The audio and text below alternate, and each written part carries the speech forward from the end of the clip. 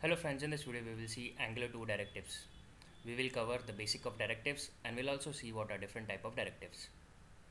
Angular 2 directive allows you to add custom behavior to elements and components. Rather than creating a hierarchy of components to try to extend behavior, Angular 2 directive enable you to compose behavior on your component. This includes adding event lister that hooks into services, manipulating templates, and adding more configurations to basic element. There are three types of directives in Angular 2. First one is component. It comes with a template. Structural directive.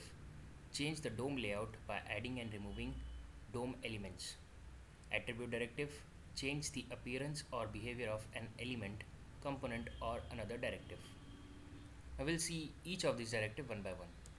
So the first type of directive is component. Now, components are the most common of three directives the component defines the template through template or template URL property and selector property is used to name the directive. Whenever you use the directive name in the HTML, the component's template is rendered. Now we have attached a simple example where we have created a simple component.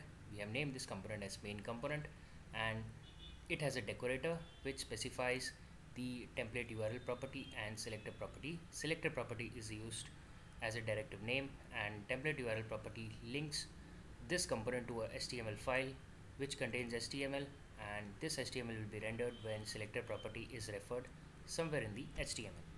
Now let's see this component through application. Now this is the main component class and it is in the file main.component.ts. This class is exportable so that any other class or component can import it. And this class has a decorator which identify this main component class as component and we have used component decorator. This decorator we have in this decorator we have specified two properties selector property which is used as a directive name and template url property which is linked to a html file which contains the html of this component. Now whenever this my app selector is used in the HTML, the HTML present in this HTML file will be rendered as a component template. So this is the simple component and a type of directive. Now let's go to this main.component.html file where we have defined our HTML for this component. So this HTML file contains a header element and an unordered list of type of directives.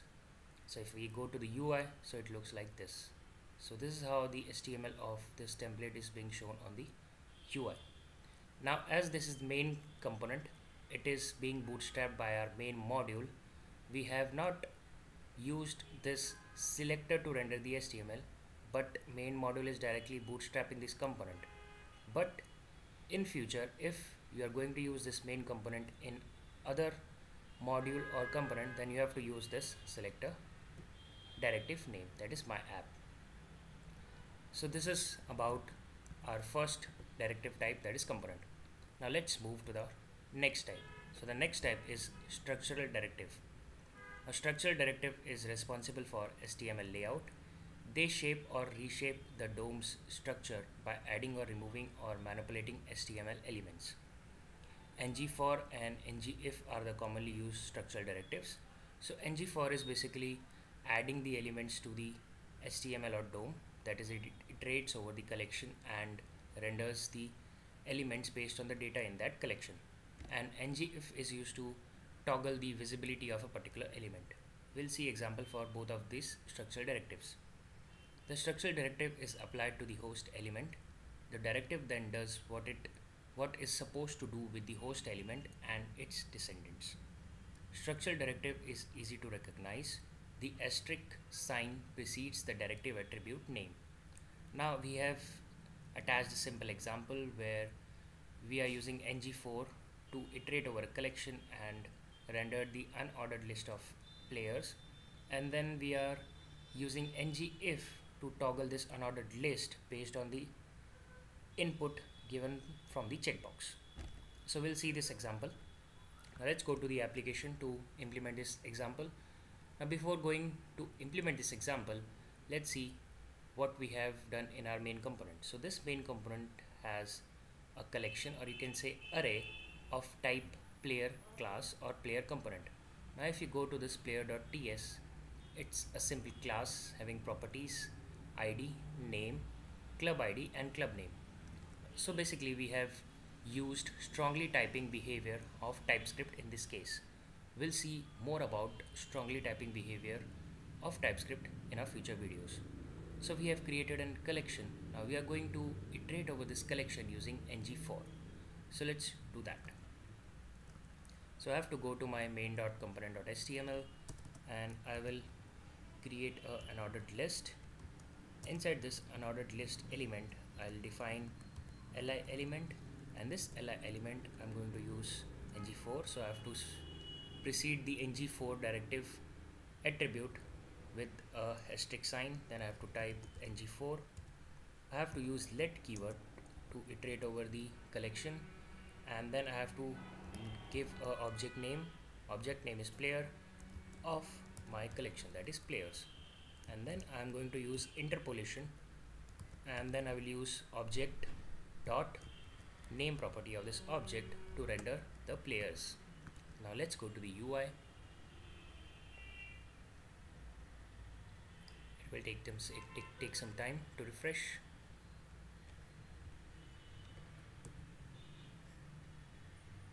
so you can see an unordered list being rendered on the UI now what we are going to do is we are going to toggle the visibility of this unordered list using ngIf structural directive.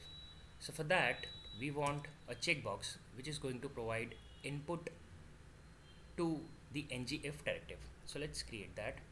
So I'm going to create a checkbox using input type checkbox. And in order to use the checkbox input we have to define ng model. So basically it will create a two-way binding scenario where the property name can be used to use the value of this checkbox. So let's do that. So in order to use ng ng model we have to first enclose it in a square brackets and then round brackets and then we have to define ng model and then we have to specify the property name. So that property name is show players. So we will see in our future video why we have enclosed this ng model. First in round brackets and then in square brackets. It has a meaning and we will see that in data binding video in the future video. Now we are ready to use this show players property now I'm going to specify ngIf structural directive at unordered list level. So I have to specify star ngIf and then just have to specify this property. Okay? And let me add a label to this saying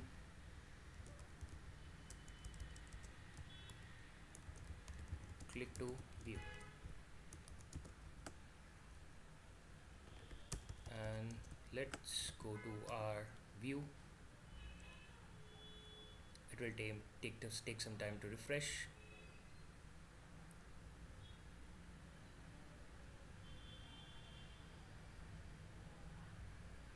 Okay now you can see click to view label and a checkbox. Now when I click this checkbox a list is appeared and when I uncheck it the list disappears. So this is how you can use ngIf to control the visibility of a particular element so this is about structural directives and let's move to the last type of directive that is attribute directive the attribute directive changes the behavior or appearance of a DOM element these directives look like regular HTML attribute in templates. The ng model directive which is used for two-way binding is an example of an attribute directive. Just we now we have used ng model. So let's see one more example of attribute directive. Now in this case I'm going to have a text box and I'm going to name or you can say I'm going to add one ng model property to this and I'm going to name, the, name it as uh, name okay and whatever I type in this text box that will be tracked in this name property. Now I'm going to display this name property just next to this text box using interpolation. So this will demonstrate how two-way bindings two-way binding work. And I'm going to give it a label enter name. Okay now let's go to our UI